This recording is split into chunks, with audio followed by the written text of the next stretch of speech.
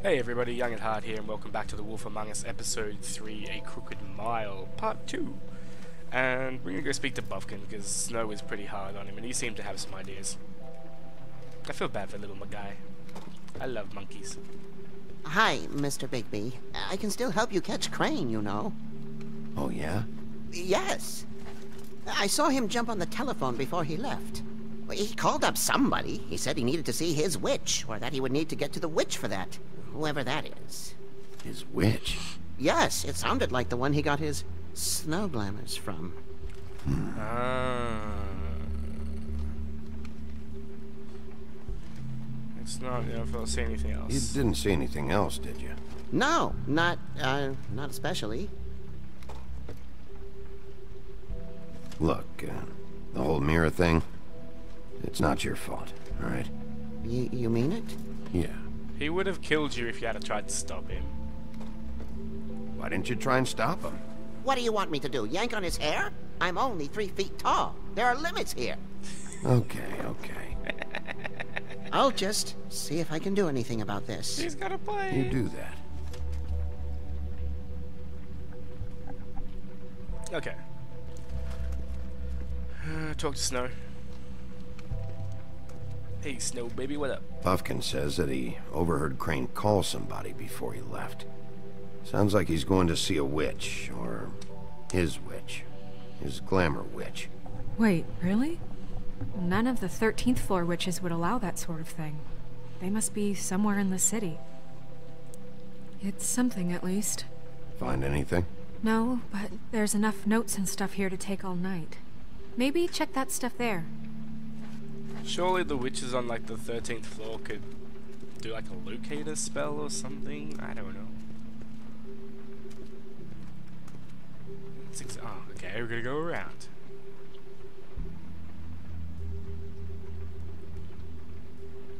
There's the trip trap key. What is it? Oh, the, not It's the, the key to his room at the yeah, open open arms. key. You still haven't told me what was in there. I want to know. I need to know. Crane was, uh, paying Lily to live out a fantasy of him and you together. Forgive me if I spare you the details. I keep thinking back. I keep replaying moments in my head. Interactions with him when he'd catch me in the elevator or bump into me outside. There's only so much you can repress, you know? Snow, you, you couldn't have known. No, I could have. That's true. she Come on, could've. let's keep looking. Uh, paper. Ichabod Crane, are there any updates to the extra funding I requested? As I explained in my last letter, the conditions here could do with some improvement. I'm seeing some unrest from the residents, and I have to admit I can see why. The farm should not be a punishment. I'm sure you're busy, but I think this should be made a priority. Best, Weyland Smith. Okay, so the farm is obviously not a great place to live.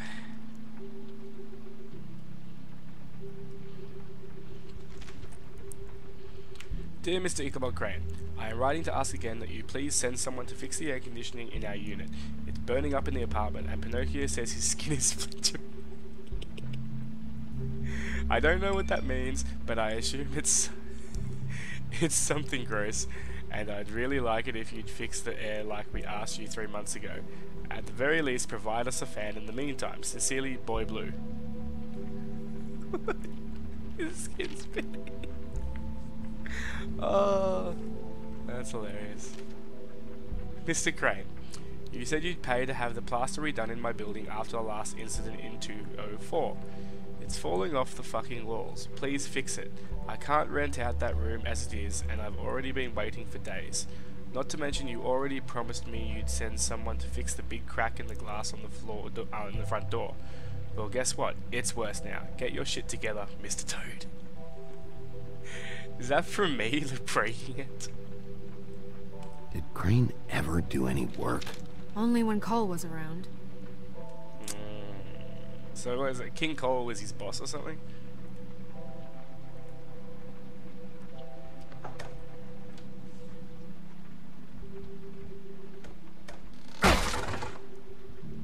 Who needs a lock when you got super strength?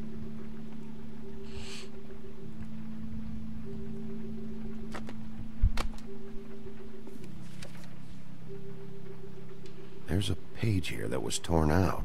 Oh, yeah? Buffkin, do you know what was here?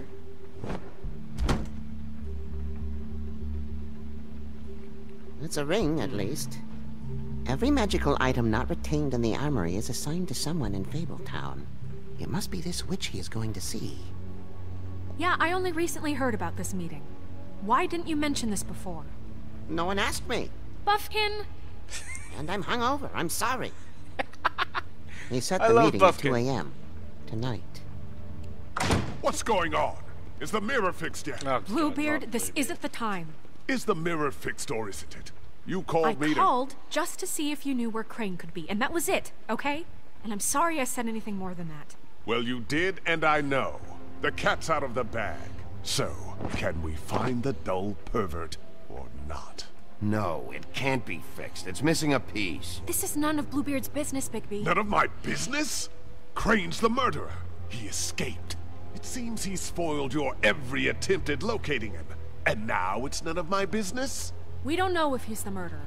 Oh, please. Of course he is. Look, this just isn't the time. He took a piece of the mirror, so we can't use it. The only thing we know is that Crane's going to see a witch at 2 o'clock. AM or PM? A.M. Listen, Bluebeard, you're not a part of this. I don't think you're in any position to turn away help. Define help. What do you know about Crane anyway? That he has the stones to kill prostitutes like any common sex-frightened serial killer and not face a real challenge. Look, we know that Crane is going to see a witch, and it's to acquire a magic ring. What's the ring? We don't know what it does or who it's assigned to since Crane tore its page out of the book. This farce was your ridiculous idea for a plan. I mean, who put you in charge in the first place? Fixing the mirror was the most logical You're a secretary. He's the sheriff. And none of you were chosen to run this office. Who elected you to make these decisions? Nobody, but that Who doesn't... elected her to spend my money? Well, I've been doing that unofficially for years now. Unofficially is not officially. Snow can obviously handle this, so let's drop it. Well then, excuse me for having the Commonwealth in mind. So he, is he the funder of the people or something? All right, let's just look on the bright side. We know Crane is going to see the witch that's been supplying him black market glamours. Thanks to me. And that he'll be there at 2. So that gives us a few short hours to find out who it is and where they live and get them all at once. And a few shorter hours, the more you babble about it. We haven't been the ones babbling. Yeah, and that's if he's even going there. We're trusting a monkey's interpretation of a phone call. It's not an interpretation. It's what he said, all right? Yeah, and it's what we have. So let's go on it, okay? I didn't mean that, Since Lily used the glamours, she'd have known who I the looked witch away was. and panicked. And I don't think Holly's burned her things yet. It would probably have the address or a phone number or something. And Bigby is free to go there if he likes. But I think the question you should be asking is just what do the two Tweedles know about this? That's a good point. It doesn't matter what they know. After tonight, they'd never go to their office. They're not smart enough to try and go anywhere else. The else. Trip Trap is the better option to track the witch down. That has to be our focus. If Holly has Lily's things, that'd probably be the safer bet. I don't really care what you two do. I'm going to his apartment. What? You can't just go up there. And why the hell not? We already looked for the key, remember? I don't know where it is. Then I'll pick the blasted lock. I've wasted enough time waiting for the mirror to find him. I won't waste any more. You just can't go up there alone, all right? I've no interest in nicking his drapes, my dear, if that's what concerns you. What concerns me is you traipsing through possible evidence. Oh, now it's evidence. Before you had no interest, and now it's a crime scene. Bluebeard, just stay out of it, all right? You'll just mess things up further. They can't get any more messed up. They can. We have to find the witch, Oh, Bluebeard, they since that's where he's going. Or the sniveling weasel chickened out. Never went anywhere. And is upstairs right now in his pitiful penthouse, crafting a fort out of couch cushions. Look, this is how a smart person would do it. So this is how we're going to do it. Wherever you go, I'll go to the other. I don't like you going anywhere unsupervised. He's up to something. I don't know what it is, but we don't have the time to really worry about it now. Where are you gonna go, Bigby? Hmm.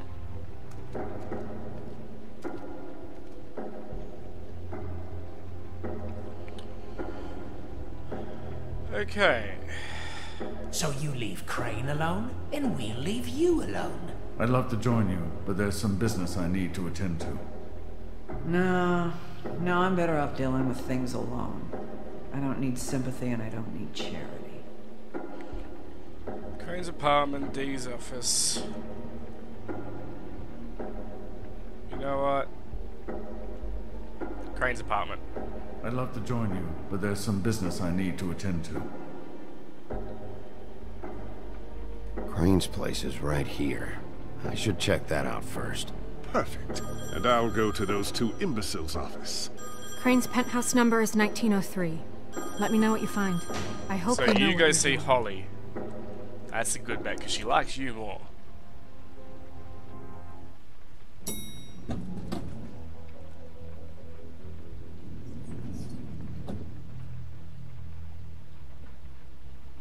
Alright.